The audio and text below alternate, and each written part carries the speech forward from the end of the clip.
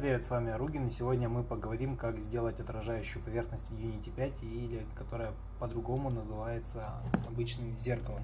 Что мы имеем э, из исходных данных? У нас есть сфера, у нас есть красный куб, и у нас есть одинокий параллелепипед, стоящий в сторонке от всех, и некая полупрозрачная поверхность, которую мы хотим превратить в зеркало.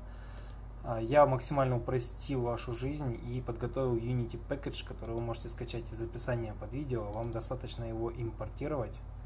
И вы в папочке в своем проекте Lessons Mirror получите три объекта шейдер, материал и скрипт. Собственно, после того, как вы импортировали их в проект, вы можете переместить их куда вам э, душе заблагорассудится. Дальше нужно сделать три нехитрых действия по количеству объектов на сцене нам нужно взять шейдер, перетащить его на материал, материал перетащить на поверхность, которую мы хотим превратить в зеркало, и на нее же перетащить скрипт. Мы получили э, уже, как видите, отражающую поверхность, только если обратите внимание, у нее несколько граней являются ступеньками. Это можно подправить, увеличив resolution. Грани выровняются, но игра или что вы будете разрабатывать, будут работать несколько медленнее. Все, зеркало готово. Я в зеркале не отражаюсь, потому что это first person character стандартный.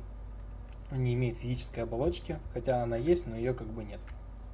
Зеркало готово, а вы скачивайте, пользуйтесь и обязательно поставьте лайк или подпишитесь, если вам нужны быстрые, конкретные, четкие советы по Unity 5 без лишних рассусоливаний на полтора часа. Спасибо за просмотр, всего доброго и до новых встреч.